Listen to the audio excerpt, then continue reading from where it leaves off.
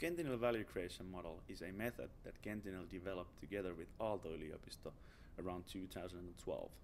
The method is based on systems thinking and system dynamics.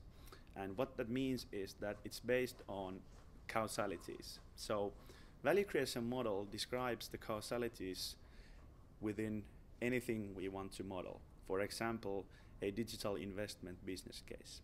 And what we do is that, like the name says, we try to figure out how the value is created within that business case.